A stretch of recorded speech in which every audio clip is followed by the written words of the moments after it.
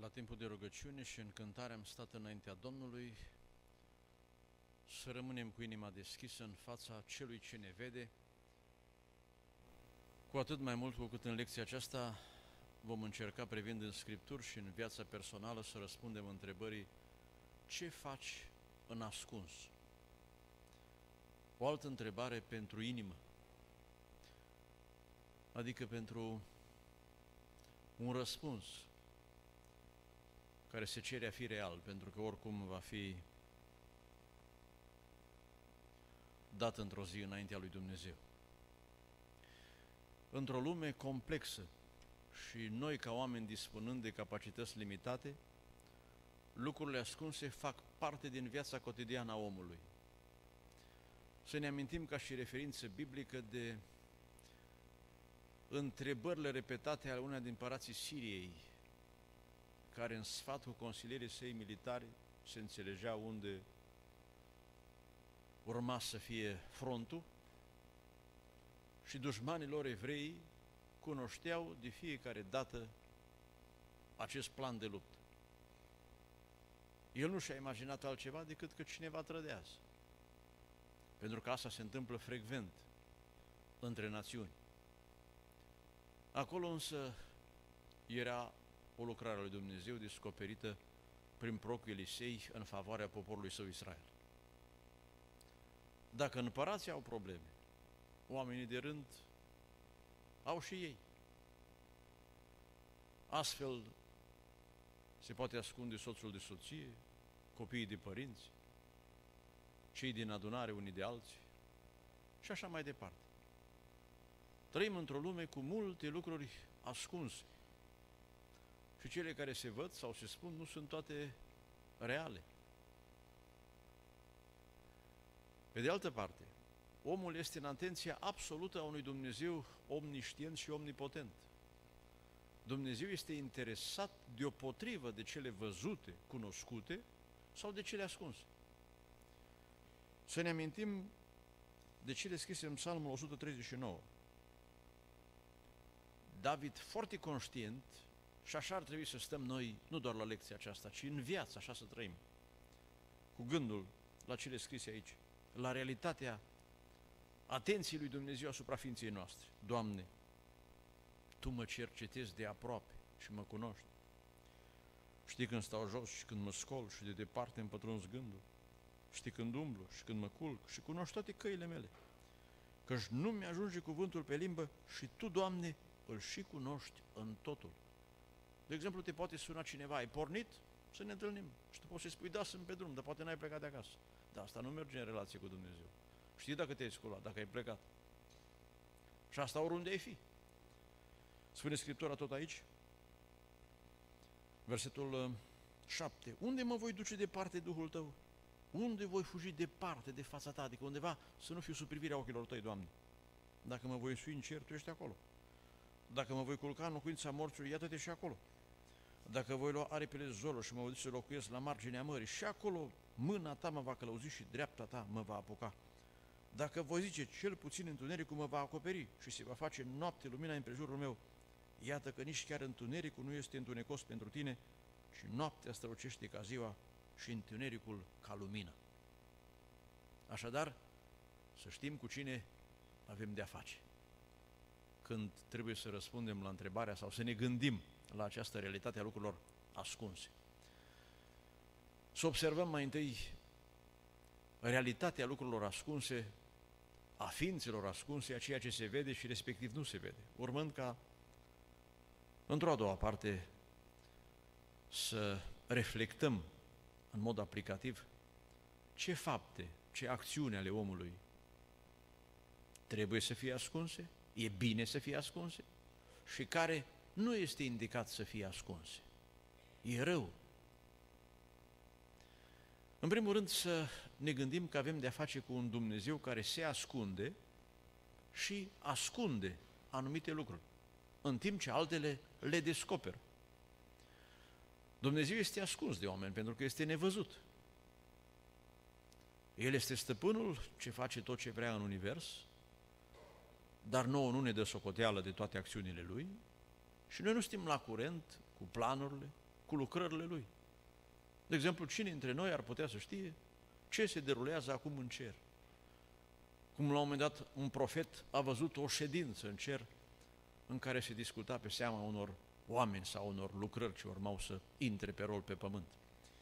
În cartea Iov, situație în care se discută, se dezbate în plan filozofic despre realitatea a ceea ce se vede și nu se vede. Citesc din capitolul 34,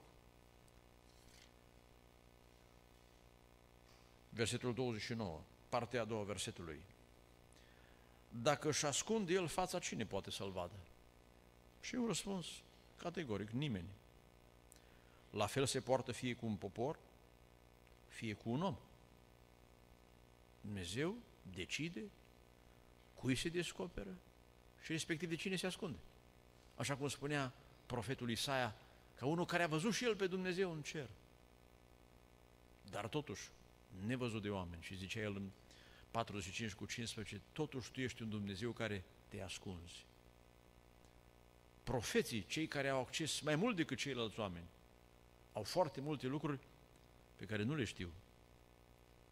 Pentru că descoperirea pentru ei este limitată.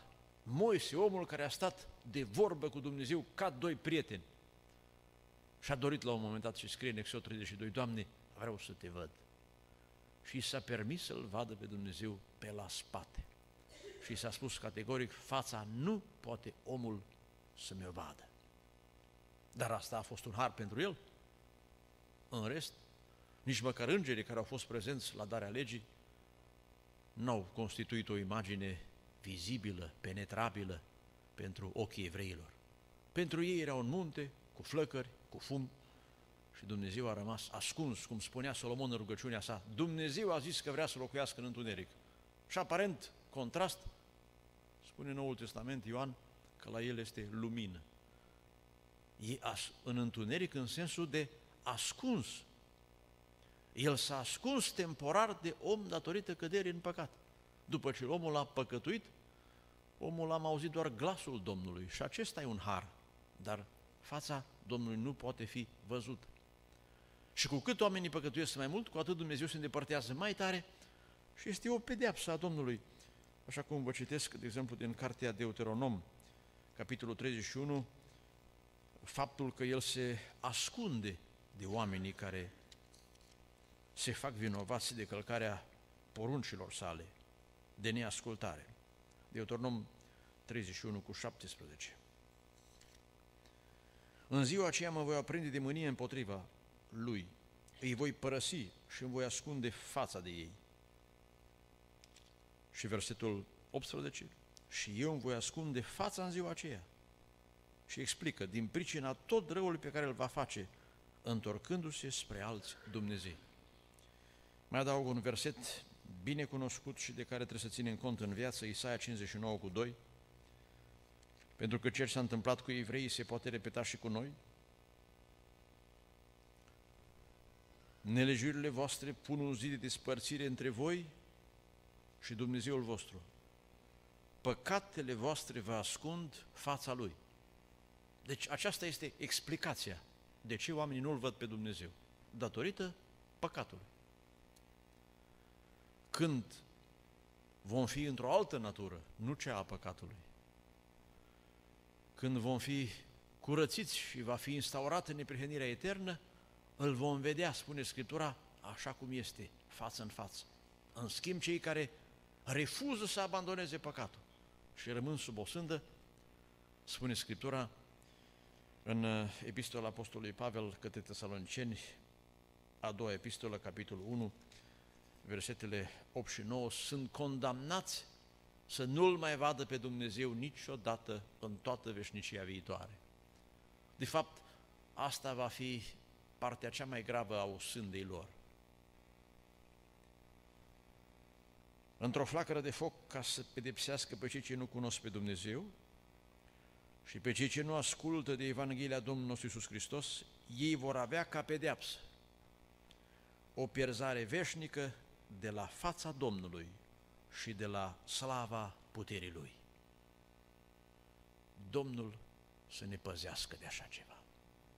să ne fie destul vremea asta cât nu putem să-L vedem și să nu avem parte de ceea ce spunea Domnul către Ierusalim plângând, fiindcă n-ai cunoscut vremea. De acum lucrurile sunt ascunse de ochii tăi și pentru unii ascunse vor rămânea pentru totdeauna. Mai există o situație când uh, Dumnezeu se ascunde, dar uh, atunci e o ascundere în aparență.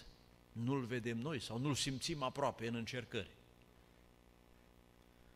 De exemplu, în Cartea Psalmilor apar astfel de versete, citesc doar din 30 cu 7.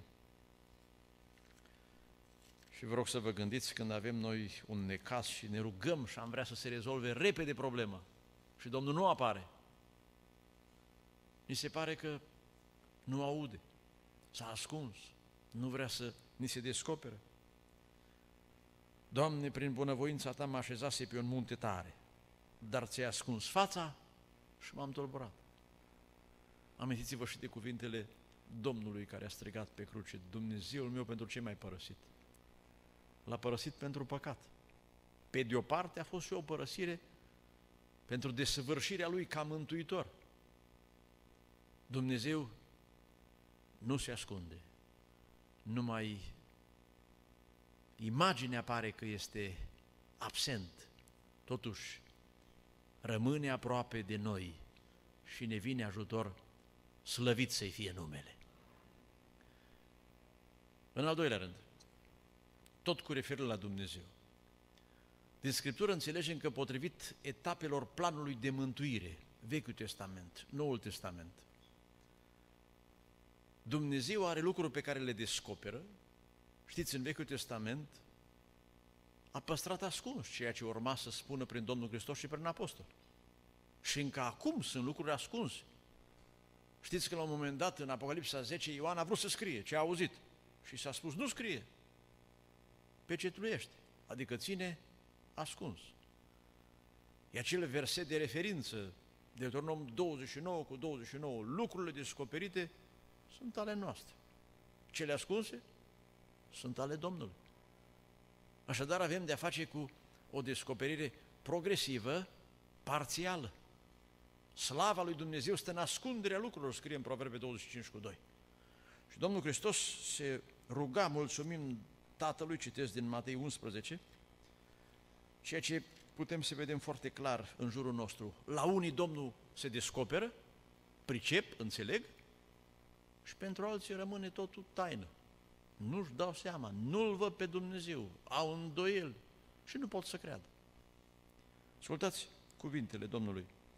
Matei 11 cu 25. Iisus a luat cuvântul și a zis, Te laud, Tată, Doamne al cerului și al pământului, pentru că ai ascuns aceste lucruri de cei înțelepți și pricepuți și le-ai descoperit pruncilor. Da, Tată, te laud, pentru că așa ai găsit tu cu cale. Slăvit să fie Domnul. Să fim mulțumitori că ni s-a descoperit. Putea să rămână și pentru noi ascuns. Cum am citit în Iov la început. Putea trece pe lângă noi și noi să nu-L vedem, dar s-a îndurat de noi, slăvit să fie în veci.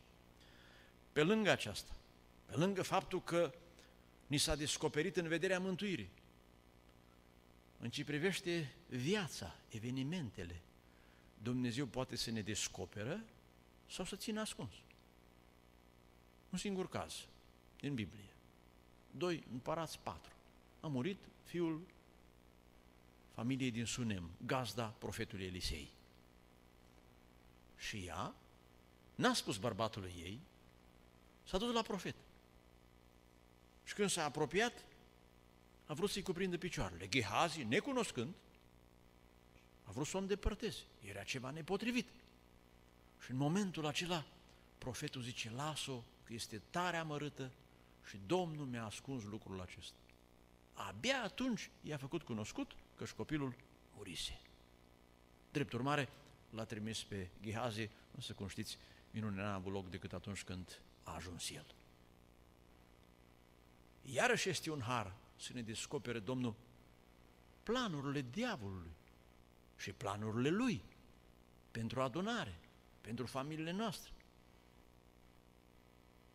Unii se limitează la ceea ce este în Biblie, și nu beneficiază de descoperirile Duhului Sfânt, de anumite profeții care ne vin în ajutor la vreme potrivită. De aceea să fim mulțumitori înaintea Domnului și să-L lăudăm că ne-a descoperit și Scriptura, și puterile lui Dumnezeu, lucrările sale, potrivit planului său, binecuvântat să fie în veci.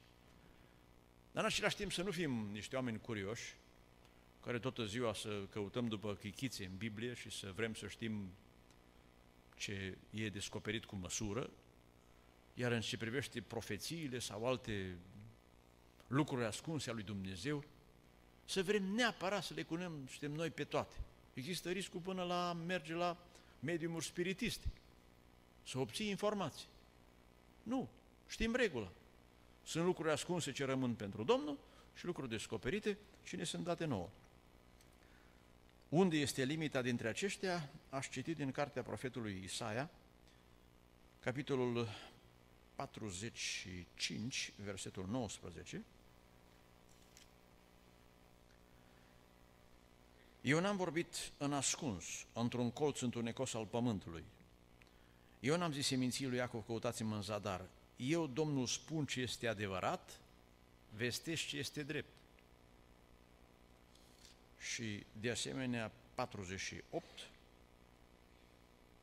cu 17. Eu, Domnul Dumnezeu tău, te învăț ce este de folos și te călăuzesc pe calea pe care trebuie să mergi. Deci Dumnezeu ne descoperă de ceea ce avem nevoie. Cum și noi, de exemplu, nu le spunem la copii decât ceea ce au ei nevoie. Domnul spunea la un moment dat ucenicilor, v-aș putea spune și alte lucruri, dar nu le puteți purta. Domnul le descoperă la vremea potrivită. Evident că pentru Dumnezeu, spun asta în încheierea ceea ce am vrut să spun despre Dumnezeu și faptul că El se ascunde și ascunde anumite lucruri în timp ce altele le descoperă. Pentru El nu sunt lucruri ascunse. Asta fie trecut, prezent sau viitor. Evrei 4 cu 13. Totul este gol și descoperit înaintea ochilor acelor care avem de a face. Nu insist asupra ideii, cred că ne este clar. Dumnezeu știe ce s-a întâmplat cândva în istorie, și la fel de simplu, poate să spună ce se va întâmpla peste sute de ani. Bine se ruga Daniel ca unul care, ca profet, a văzut descoperirile Domnului, citesc din Daniel capitolul 2, și se minunau împărații de felul în care el știa să descopere aceste taine, ci și descopereau din partea Domnului. Daniel 2 cu 22. El descoperă ce este adânc și ascuns. El știe ce este în întuneric și la el locuiește lumina, slăvit să fie în veci. Ba, Scriptura merge până acolo încă spune în fapte 15 cu 18 că lui Dumnezeu toate sunt cunoscute din veșnicie. De aceea să știm cu cine avem de-a face. El vede totul, știe totul, poate totul. În al doilea rând vreau să observăm puțin omul păcătos și motivele lui de a se ascunde. Începând cu Adam, știți, imediat după ce a căzut în păcat, omul are tendința să-și ascundă viața, faptele, fie de teamă, fie din viclenie. Și dacă ar putea, omul ar încerca să ascundă și de judecata viitoare. Dar nu se poate. Adam s-a ascuns, Cain imediat și-a dat seama că trebuie să fie fugar pe pământ și să se ascundă. Oamenii se ascund și de îngeri. E o teamă pentru omul păcătos. Spune Scriptura în 1 Cronici 21 cu 20 că atunci când uh, Arafna și fiii săi au văzut îngerul Domnului care era cu sabia întinsă spre Ierusalim și au murit zeci de mii de evrei, s-au ascuns imediat. Este o primă atitudine a omului. Să ne amintim de o descoperire menționată în cartea Daniel, capitolul 10, la un moment dat, în versetul 7, este scris că oamenii care erau împreună cu Daniel, știți ce au făcut? Fugi și se ascund. Asta este reacția omului în fața lui Dumnezeu. Aș aminti aici doar Apocalipsa, capitolul 6, pentru că asta are de-a face cu ce urmează. Doar cu tremurile ce au fost uh, în ultimele zile în Italia și respectiv în Bulgaria, i-a făcut pe oameni să-și părăsească locuințele, să stea în mașini, în natură. Le este teamă de un Dumnezeu care mișcă pământul. Dar ce va fi în prezența puterii sale, a cataclismelor apocaliptice? Apocalipsa 6, cu 15, împărații pământului, domnitorii, capitanii oștirilor, cei bogați și cei puternici, toți robii și toți oamenii slobozi s-au ascuns în peșteri și în stâncile munților și ziceau munților și stâncilor, cădeți peste noi și ascundeți-ne. Dorința omului de a se ascunde de fața celui ce șade pe scaun de domnie și de mânia mielului, căci a venit ziua cea mare a mâniei lui și cine poate sta în picioare? Să ne amintim de cuvintele Domnului care spunea, rugați-vă să puteți sta în picioare în ziua aceea, să nu fim nevoiți să ne ascundem, să ne temem. Omul se ascunde și de cineva care este mai puternic, de un cotropitor. Să ne amintim din istorie când veneau popoare tătare, cum era în zona noastră, sau turci. Oamenii se ascundeau. Este o atitudine specifică omului care este pe pământ lipsit de apărare. Este slab. Dar în mod deosebit omul se ascunde datorită unei mustrări de conștiință, a vinovăției în fața lui Dumnezeu. Mi-am amintit despre un copilaș 4-5 ani dacă avea, când mama a vrut să-i scoată pe toți în parc, el a spus, eu nu ies astăzi. Și el a întrebat, de ce, nu te simți bine, vrei să te joci? Și până la urmă a aflat secretul. Își făcuse părul cu gel și a zis, nu ies afară că mă vede Domnul Iisus. Dar aici în bloc nu se uită. Iată, specific de la naștere și până la bătrânețe. Omul se ascunde, se știe vinovat și frica are cu ea pedeapsa, spune Scriptura. Știe omul că îl așteaptă o sândă. Există însă și un mod de a te ascunde pe care Dumnezeu îl permite. Dumnezeu dă dreptul credincioșilor să se ascundă în vremuri de prigoană sau în fața oamenilor răi, sau să ascundă lucruri de asupritori, de cotropitori.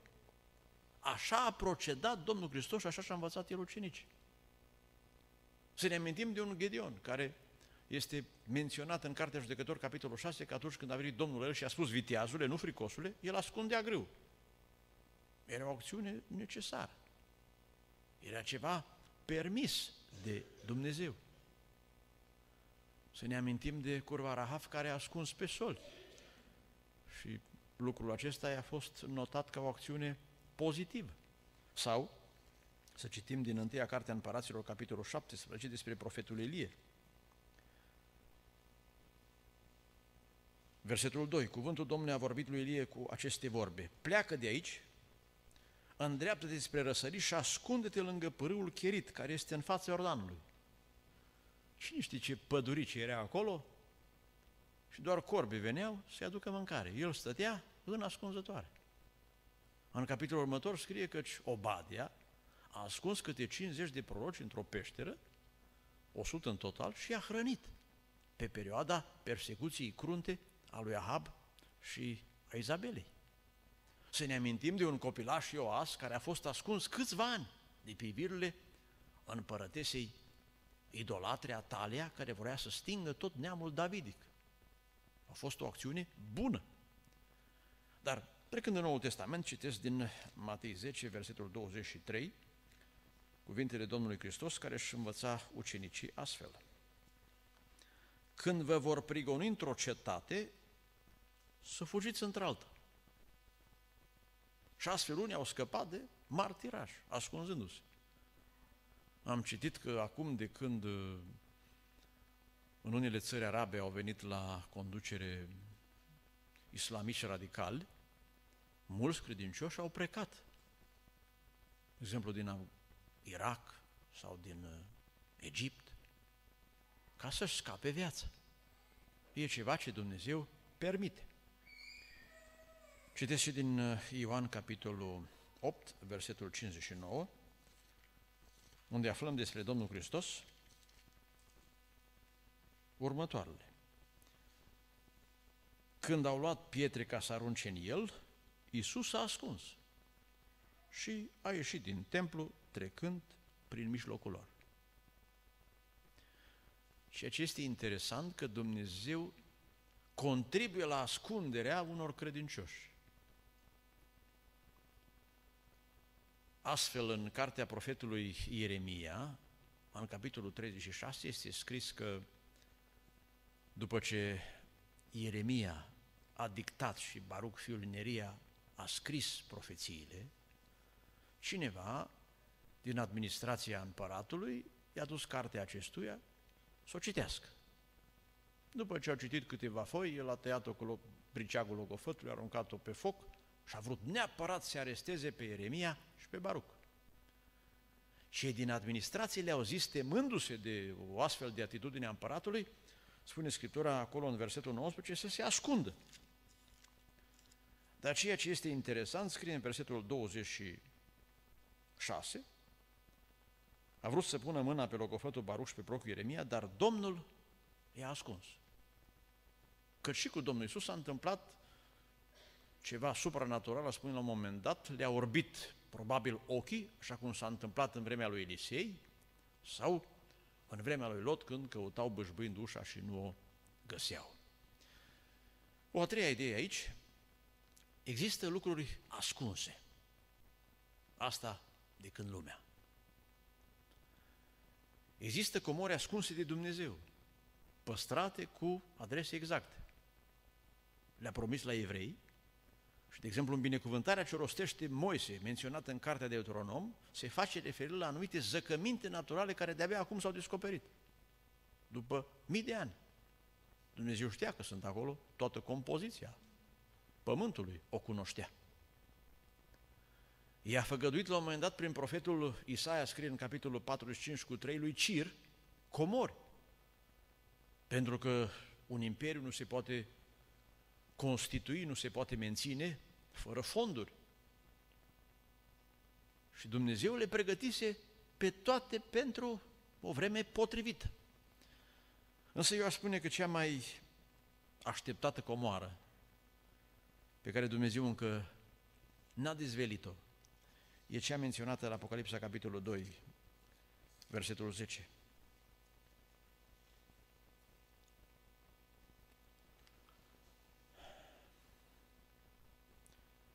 Spune Scriptura aici, făgăduind unii biserici, fii credincios până la moarte și îți voi da cu nuna vieții. Și viața aceasta este legată aici în uh, scrisorile către cele șapte biserici. Citesc din versetul 7. Celui ce va birui îi voi da să mănânce din pomul vieții, care este în raiul lui Dumnezeu. Și 17. Celui ce va birui îi voi da să mănânce din mana ascunsă. Cum va fi pâinea aceea și pomul vieții? Ce ne-am dorit-o să o consumăm ni s-a descoperit trupul și sângele Domnului în acest simbol binecuvântat al cinei. Este o taină. Și n-a fost descoperit în Vechiul Testament. Acum rămâne încă mana aceasta ascunsă din cer, pe care, consumând-o, să spunem așa pe înțelesul nostru, ne va face să trăim veșnic. Pentru toate acestea, slăvit să fie Domnul. Oamenii s-au trudit de-a lungul istoriei să ascundă comori în pământ, în mod deosebit când se anunța că vine războiul repede săpau oamenii o groapă și își adânceau în mod tainic comorile. În vremea noastră oamenii caută bani sigure sau să-și transforme lichiditățile în metale prețioase sau în alte și alte bunuri. Dar știți, spunea Domnul Hristos, Matei 6, 19 și 20, pe pământ le fură hoții, le rod molle. Singurul loc de a ascunde cu adevărat este în cer la Dumnezeu, acolo sunt în siguranță. Cât despre lucruri ascunse, aș mai adăuga faptul că rămân încă multe ascunse. Gândiți-vă numai la câte a descoperit știința în ultimii 200 de ani. Ce se știa acum 500 de ani despre curentul electric? Li s-a părut șocant oamenilor când a fost descoperită lucrarea telefonului.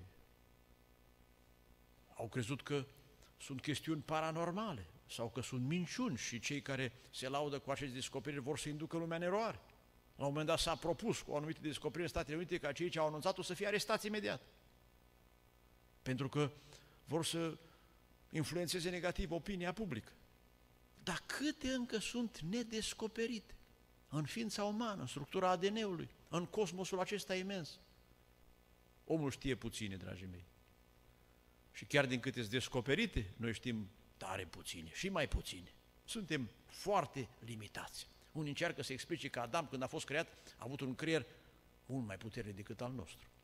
Unii spun că a nostru nu este utilizat decât în parte. Restul se manifestă într-o formă de pasivitate, într-o așteptare latentă a unei noi îmbogățiri și operări la un nivel mai mare. Nu știm. Să mulțumim Domnului că ne-a descoperit ce este mai important. Și să știm că toate văzute sau nevăzute sunt sub mâna Lui. Slăvit să fie în veci. Să privim acum la fapte și acțiuni ascunse. În primul rând, așa cum aminteam deja, oamenii se ascund să facă răul sau după ce l-au făcut. Spune Scriptura în cartea de Deuteronom, capitolul 27, două exemple aici, din două domenii. Versetul 15, Blestemat să fie omul care va face un chip cioplit sau un chip turnat și care îl va pune într-un loc ascuns. Dacă ar fi sinceri, tinerii, copiii să spună dacă și-au adus ceva acasă ce nu vrea tata și mama să știe, vreun cd cu ceva ce nu-i bun sau dacă au furat ceva de la școală, li s-a părut frumos, așa vreun stilou, ce credeți că vin și îl pun pe masă? Dar de unde? Se tot gândesc că e pe drum care e cea mai bună ascunzătoare. Și asta e tendința omului, cum spuneam. Trist este că și cei credincioși, că aici pot să aibă nascuns lucruri vinovate. Cum spunea cineva într-un mod uh, figurativ, și acum credincioșii au bijuterii, le țin ascunse la gândul că moare Moise înaintea lui Aron. Că dacă ar fi ca în Vechiul Testament să moară Aron înaintea lui Moise, n-au șanse să le scoată. Pentru că tendința aceasta este permanentă. Amintiți-vă de frații lui Iosif, Genesa 37. De ce n-au avut curajul să spună tatălui lor ce au făcut? Au mascat fapta lor, au muiat haina în sânge și s-au prezentat ca nevinovați. Amintiți-vă de David, care atunci când a păcătuit și a pus mintea la contribuție în sens negativ să-și camufleze fapta, să vină urie, să-l trimită acasă, apoi să-l omoare nascuz. Dar numai când a venit prorocul din partea Domnului, scrie în 2 Samuel, capitolul 12, citesc versetul 12, ce ai lucrat pe ascuns, eu însă voi face lucrul acesta, adică va rosti sentința în fața întregului Israel și în fața soarelui. Când întreb oamenii, sau la mărturisire uneori, mă aștept să fiu mințit. Pentru că am întâlnit situații când l-am întrebat pe un om de câteva ore. Și sunt unii care mint cu sânge rece. De altfel, te și poți aștepta la cineva care curvește să mintă. Că dacă a putut face o faptă gravă, cum nu și-o va ascunde cu o minciună? Sau la cineva care a spus o vorbă care e nepotrivită și să-l întreb dacă recunoaște? Se poate ascunde. De aceea e plină lumea de camere video, de monitorizări, pentru că oamenii se ascund. În faze avansate de păcat se pierde rușinea. De exemplu, imoralitatea. Întâi se face pe ascuns.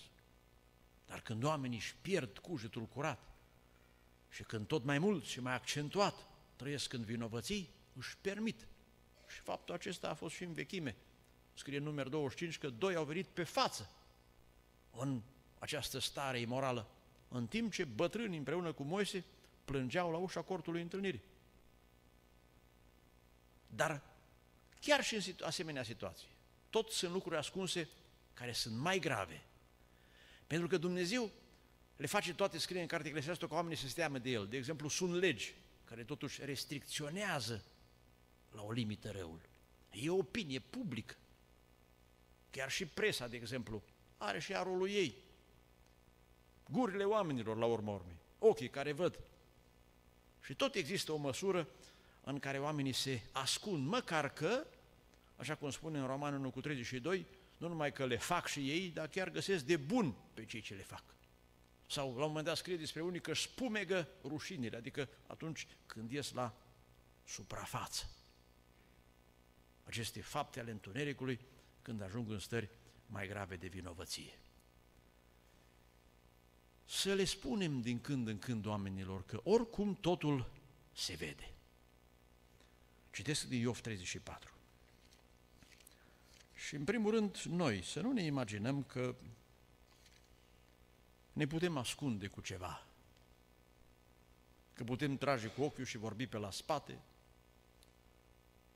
și face ceva fără să se știe. Iov 34 cu 21 și 22, căci Dumnezeu vede purtarea tuturor, privește pașii fiecăruia. Nu este nici întuneric, nici umbra morții, unde să se poată ascunde cei ce fac fără de legea. O fac în zadar, crezând că este tainică, va fi dată pe față. Bine ar fi să trăim frumos ca să nu fim nevoi să ne ascundem. Colaborarea tainică în rău, planuri în întuneric, sunt o altă lucrare demonică care de regulă se face în ascuns. Scrie în Proverbe 17 cu 23 și aici vă rog să vă gândiți dacă nu cumva puteți fi prinși în astfel de înțelegeri vinovate pe seama cuiva sau acțiuni licite, uneori ilegale.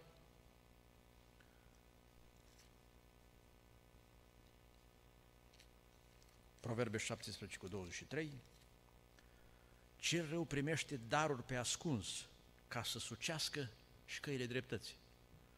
De exemplu, poate cineva este într-o mm, funcție, lucrează în domeniul public și sunt anumite drepturi limitate sau un număr limitat de persoane ce pot să beneficieze de un drept și favorizezi pe unul, la altul îi spui că nu se mai poate, pentru că celălalt poate ți-a dat ceva sau poate noi suntem ispitiți să influențăm dreptatea. Aici mai fac o remarcă, să nu încorporăm toate darurile ascunse în aceeași categorie, 21 cu 17. Un dar făcut în taină potolește mânia. O mită dată pe ascuns potolește cea mai puternică mânie. Când dai mită să faci pace, e bine să nu dai mită să faci nedreptate. Aceasta este rău. Să ne amintim de cazul uh, judecății lui Nabot și moartea lui lucruri nascuns, mordare, a fost făcut vinovat, să ne amintim de Iuda, care s-a dus în ascuns și l-a vândut pe Domnul. Aici aș mai adăuga tot din cărțile de înțelepciune, Eclesiastul 11 cu 20, vis-a-vis de discuții în ascuns, care nu trebuie să-și aibă loc. Nu blestema pe împărat nici chiar în gând. Au zis că și aici se pot oamenii ascunde. Și nu blestema pe cel bogat în odaia în care te culci, că s-ar putea întâmpla ca pasărea celui să-ți ducă vorba și o solă naripat să-ți dea pe față vorbele. Așadar, răul făcut în ascuns sau chiar numai plănuit aduce o sândă, este o mare vinovăție. Să ne ferim de așa ceva, chiar și prin intenție, nu doar prin făptuire. Nimeni să nu se împace cu ideea nu se va auzi, nu se va afla, nu va ști. Vreau să vă arăt acum fapte și acțiuni bune care trebuie făcute în ascuns. Și de care e bine să nu se știe, să nu afle nimeni. Preocuparea personală pentru dobândirea chipului divin, să fii neprihănit înaintea lui Dumnezeu, nu doar înaintea oamenilor. Matei 6 cu 1. Sunt cuvintele Domnului Hristos care spunea următoarele. Lua seama să nu vă îndepliniți de prihenirea voastră înaintea oamenilor, ca să fiți văzuți de ei. Al minte nu veți avea răsplată la Tatăl vostru care este în ceruri. Silești să fii pocăit, nu să afle alții ce not ai mai luat sau ce progrese duhovnicești ai făcut. Iudeu nu este acela care se arată pe din afară, scria Pavel Roman 3 cu 28 și 29, și cel care este iudeu pe dinăuntru. Și acolo este un loc ascuns și bine ascuns să rămână. 1 Petru, capitolul 3, versetele 3 și 4, un cuvânt pentru surori, dar aplicația este perfect valabilă și pentru frați. Podoba voastră nu fie podoba de afară, versetul 4, ci să fie omul ascuns al inimii. Nu trebuie să te lauzi să spună și la alții cât ești tu de blândă și de iertătoare, câtă iubire ai, dar luptă-te să le ai, trudește-te pentru asta. Un duc blând și liniștit care este de mare preț înaintea unui Dumnezeu care vede în ascuns. Disciplinele spirituale care ajută la performanțe spirituale trebuie făcute în ascuns. Rugăciune în ascuns. Pe lângă ceea ce e necesar public. Post, spunea Domnul Hristos. Adică să încercăm să evităm ipocrizia, fariseismul și tendința de a face din toate acestea un ritual religios cu o formă exterioară de evlavie și cu o imagine proprie falsă. Revin la Matei 6, citind cuvintele Domnului Hristos, de la versetul 5. Când vă rugați, Versetul 6. Tu când te rogi, intră în odăița ta, încuie ușa după tine, rogă-te tatălui tău care este în ascuns și tatăl tău care vede în ascuns îți va răsplăti. Undeva la sfârșitul unei slujbe vine un frate la mine și spune, frate, supărat, de ce? Nu mă lasă să mă rog în public. Frate, bucură-te că te lasă Domnul să te rogi în ascuns și te primește. Că doar nu adunarea îți dă notă, către adunare te adresezi.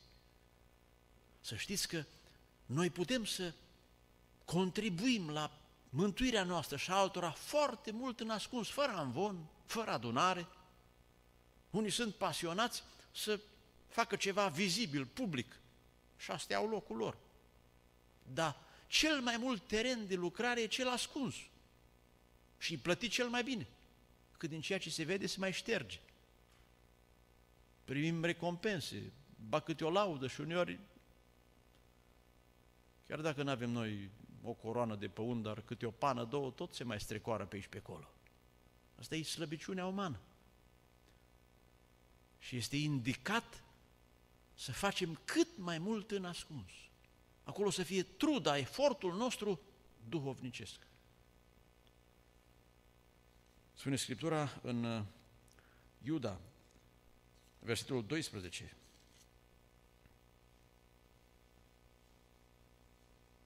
ceva contrar, contrastant. Sunt niște stânci ascunse la mesele voastre de dragoste. Observați? Ce diferență! Credeți că aceștia ascunși când vin aici, în particular, au ceva? N-au. Pentru că dacă ar avea, n-ar mai trebui să se ascundă aici. Dar vedeți, este o imagine falsă între oameni. Spunea cineva, când preotul bea cu noi, e și el om. Când se îmbracă în roba lui preoțească, e altceva. Dar asta nu ajută decât la înșelarea noastră. În al doilea rând, realizarea unor fapte bune prin oferirea unor daruri sau efectuarea unor servicii pentru lucrarea Evangheliei și pentru săraci. Spunea Domnul Matei 6 cu 2 la 4. Să faci milostenie neascunsă, nu știe stânga ce face dreapta, asta nu înseamnă să nu știe bărbatul ce face femeia. Sau că dacă află cineva e păcat. Și Domnul spune clar să nu trâmbițezi. Să fii bucuros că ai făcut o faptă bună, nu să fii orgolios sau să te lauzi pentru că asta nu-ți face bine. Cineva și-a imaginat că o faptă bună cunoscută este o culme la care se uită toți. Și dacă e înalt tare, pun și binoclu.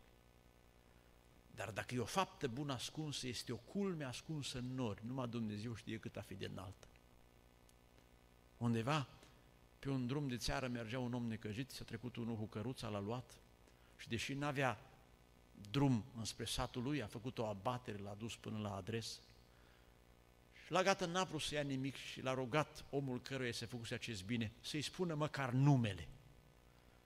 Și cel ce făcuse această faptă bună i-a zis, dacă îmi spui și tu cum îl cheamă pe samariteanul milostiv, îți spun și eu cum mă cheamă.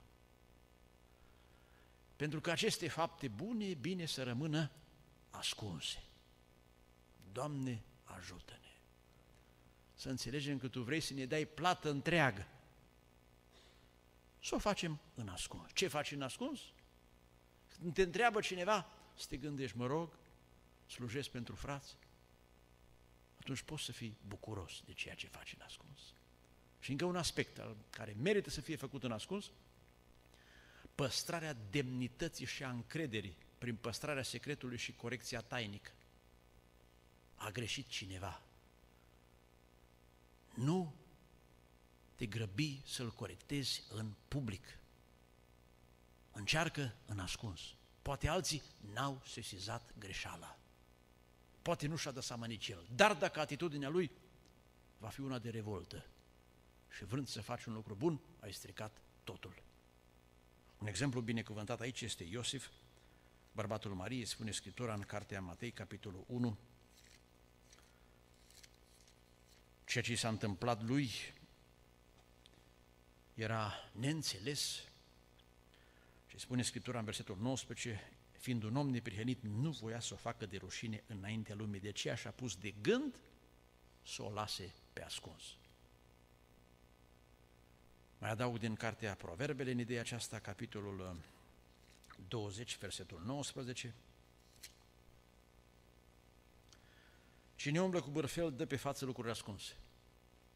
Greșelile ale oamenilor, că astea sunt bârfel. Dar nu puteai să-l corectezi în ascuns? Și dacă l-ai corectat, nu puteai să nu mai povestești și altul? Și cu cel ce nu-și poate ține gura, să nu te amesteci. și 12 cu 16, tot proverbe, nebunul îndată își dă pe față mânia, dar înțeleptul ascunde o cara. Încearcă să potolești o ceartă, pentru că e foarte frumos să poți face lucruri bune în ascuns. Fie fapte bune, fie chestiuni ce țin de caracter, de relațiile dintre oameni. Am citit undeva și în timp ce mi-am amintit asta, m-am gândit dacă nu cumva risc să nu mă credeți, spunându-vă întâmplarea aceasta. Deși e ceva de dorit să facem. Se spune că doi frați de corp cultivau împreună, sau părți egale, pe un teren și fiind un an cu recoltă slabă, fiecare cu familii mari, amândoi s-au gândit, măi, frate meu, parcă mi-a necăjit ca mine, dar dacă îi dau din snopii mei nu ia, că știe că și eu sunt necăjit. Da, mă duc la noapte și mut unul dincolo, în area lui. Numai că tot în aceeași noapte și frate să s-au gândit să procedeze la fel și s-au întâlnit amândoi încercând să mute snopii. Doamne ferește să ne bată vreun gând să-i mutăm invers. E tot în ascuns, dar ceva foarte vinovat. Încă un aspect, lucruri care nu trebuie ascunse. Adevărul mântuitor. Cuvântul care vine de la Domnul. Nu-l tăinui, trâmbițează-l. Laudă-te cu lucrările Domnului, că își merită Domnul să fie slăvit.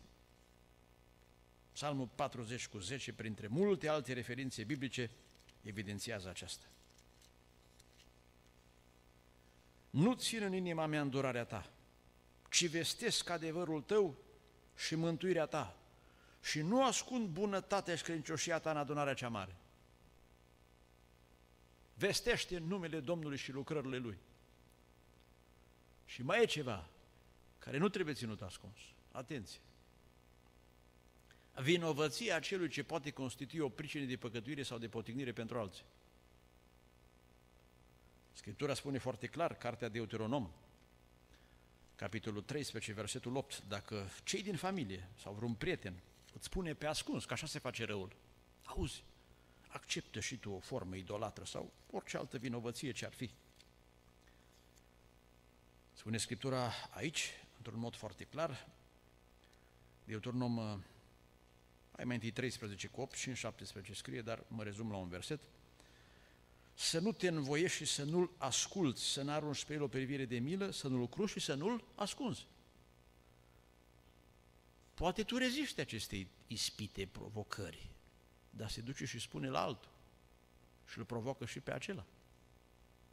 Deci dacă este cineva contagios, trebuie pus deoparte. În sensul că trebuie evidențiat, trebuie făcute sesizările de rigoare ca să nu se extindă răul. Cine închide ochii și ascunde pe un păcătos care își duce mai departe slujirea și prieten și cu unul și cu altul, fără să încerce să rezolve problema, dacă se poate în mod tainic. Dar dacă acesta nu vrea, trebuie să se ajungă la faza în care să-l dea pe față. Și în ultimul rând, vreau să observăm deznodământul lucrurilor ascunse. Păcatul este asociat cu întunericul, dar Dumnezeu va scoate totul la iveală prin lucrarea luminii. Spune 1 Timotei 5, versetul 25 și 24. Păcatele unor oameni sunt cunoscute și merg înainte la judecată, iar altora vin pe urmă. Tot așa și faptele bune, cum și noi în lecția aceasta am vorbit de păcate nascuns, de fapte bune nascuns. Sunt cunoscute și cele ce nu sunt cunoscute nu pot să rămână ascunse. Pentru că Dumnezeu va scoate totul la lumină, spunea însăși Domnul Hristos, Matei 10 cu 26, nu este nimic ascuns care nu va fi descoperit și nimic tăinuit care nu va fi cunoscut. Vă dau un singur caz care evidențiază cum în timp Dumnezeu va îngădui ca totul să se descopere. Mergeau doi frați cu mașina. La un moment dat, un om face cu mâna la ocazie. Și unul din aceștia doi îl observă. Spune, și ăsta e pocăit. Ia-l în mașină. Merg în alt sat. Continuare, altă comună, probabil. Și o femeie face și ea disperată semn că se grăbește. Spune, hai să o luăm și pe Doamne. În mașină mergea muzica, cântări creștine, și la un moment dat femeia aceea, cum femeile vorbesc așa mai ușor, ci sunteți pocăiți, așa e? Astea cântări de la adunare. Și îi spun da. Și în timp ce era cercetată ea de cântare, zice către cel și fusese celor la ocazie, erau amândoi pe bancheta din spate. Așa e că e greu să fii pocăit căzut. Și acesta, întrucât se cunoștea cu unul din frați, cum v-am spus, încearcă imediat să dezvinovățească. Nu știu ce vrei să zici. Cum nu știi? Și mai departe, nu vă spun, s-au descoperit lucruri ascunse, când nu s-aștepta nimeni. Erau amândoi pocăiți căzuți, de aceea a zis femeia așa. Dar despre el nu se știa. N-ar fi urcat el în mașină, s-ar fi dus poate mult pe jos. Dar când Dumnezeu îngăduie să se descopere lucrurile, nu mai pot să rămână ascunse. Însă înainte de a se descoperi și de a fi făcut de rușine, ca Acan, căruia Iosua i-a spus, fiule, nu mă ascunde nimic, dă slavă Domnului. Și știți ce a urmat? O sândă. Și așa va fi la judecat. Întâi se vor descoperi toate și apoi vor fi oamenii pedepsiți. Dumnezeu ne cheamă să le scoatem noi la lumină și să venim noi înșine la lumină. Să ne mărturisim și să ne pocăim. Doamne, ajută-ne! Spune David, psalmul 32 cu 5, el a înțeles greu asta și a plătit dureros. Atunci ți-am mărturisit păcatul meu și nu mi-am ascuns fără de lege, am zis, în voi mărturisi Domnului fără de legile și tu ai iertat vina păcatului meu. Pentru că lucrurile ascunse apăsau greu asupra lui. Proverbe 28 cu 13. Cine își mărturisește păcatul se lasă de el, capătă propășire, primește îndurare. Să o facem până nu e prea târziu. Pentru că unele lucruri le va descoperi Dumnezeu aici și altele la judecată în ziua de apoi. scrie Eclesiastul 12 cu 14, într-un mod categoric, căci Dumnezeu va aduce orice faptă la judecată și judecata aceasta se va face cu privire la tot ce este ascuns. Fie bine, fie rău. Și mai adaug un verset, 1 Corinteni 4 cu 5,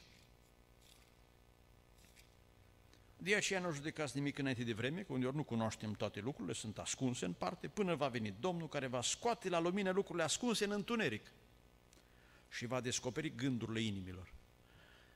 O sânda pentru cei ce n-au vrut să vină ei la lumină va fi tocmai întunericul, negura întunericului pe vecie, Iuda 1 cu 12 și 13. Au iubit întunericul și vor avea parte de el. Munții nopții vor veni peste ei, este un cuvânt în Ieremia 13. Fii luminii care puteau să fie în lumină, vor fi aruncați în întunericul de afară. Și această expresie se repetă în Evanghelie, întunericul de afară. Doamne, îndură-te de noi. E mare har să poți veni la lumină, să te mărturisești, scapi. Și apoi să nu mai încerci în ascuns să faci niciun rău, dar cu lucrurile bune să fii doritor să le faci în ascuns, ca să aibă Dumnezeu ce să răsplăti. Vedeți, în ziua aceea se vor scoate tocmai lucrurile ascunse. La unii cele bune și vor primi răsplată, la unii cele rele și vor primi o sândă. Și ce frumos îi, spun asta în încheiere 1 Ioan, capitolul 1, versetele 5 la 7, ce să trăiești în lumină. Dacă în adunare ne vom lupta pentru asta, va fi părtășie frățească, har. 1 Ioan, 5, 1 Ioan 1 cu 5 la 7. Vestea pe care am văzut de la ele și pe care vă provăduim este că Dumnezeu e lumină și El, El nu este întuneric. Dacă zicem că avem părtășie cu El și umblăm în întuneric, adică avem lucruri ascunse, mințim și nu trăim adevărul. Dar dacă umblăm în lumină, după cum El însuși este în lumină, avem părtășii unii cu alții și dacă s-a întâmplat vreo greșeală, ne pocăim și sângele lui Iisus Hristos, Fiul Lui, ne curățește de orice păcat, dar nu fără condiția de a veni la lumină. Și când trăiești în lumină, poți să slujești. Pentru că se poate reflecta lumina, scrie în 2 Corinteni, capitolul 4. Dar pentru asta trebuie să le pădăm meșteșujirile rușinoase și ascunse, fără vreun scop ascuns, fără vreo vinovăție, cei ce trăiesc în lumină pot să vestească lumina. Doamne, Iisuse, Tu ai fost lumina și ne-ai lăsat să fim acum noi lumina. Ajută-ne să fim lumină înăuntru și să reflectăm lumină în afară. Slăvit să fie Domnul, amin.